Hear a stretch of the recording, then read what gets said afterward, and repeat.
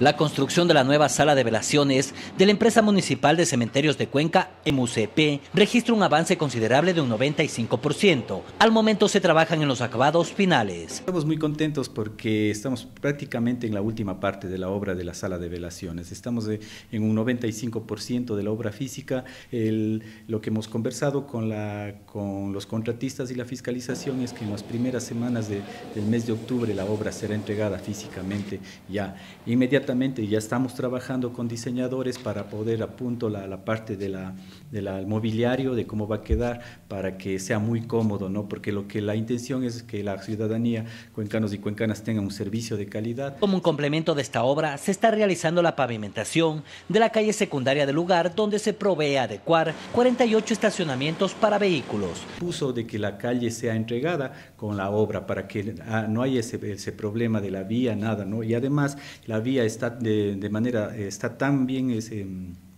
eh, diseñada que nos va a permitir tener aproximadamente unos 43 estacionamientos para las personas que acuden en estos momentos difíciles. La edificación tendrá una capacidad para 200 personas y cuenta con una inversión aproximada de 790 mil dólares. La inversión total, ¿no es cierto?, es de aproximadamente 799 mil dólares, sí, con los reajustes que, nos permitido con la, eh, que es permitido por la ley, claro está porque toda obra de construcción tiene unos ajustes y todo, ¿no? ¿Sí? Mauricio Lupe Percio, Telediario